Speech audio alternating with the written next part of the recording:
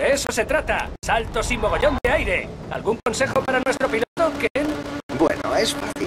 El truco está en encontrar la línea correcta en el salto. Coge tanta velocidad como puedas para permanecer en el aire lo máximo. Pero ten cuidado porque necesitarás mantener el control en el aterrizaje.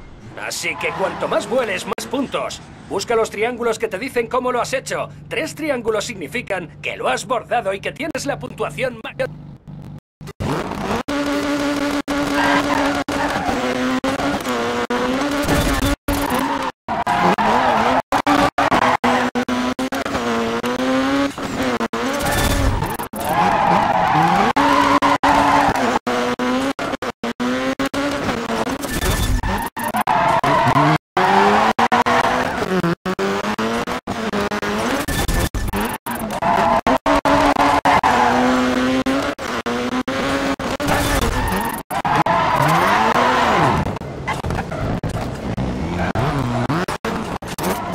Mira, eres un mago de la gincana.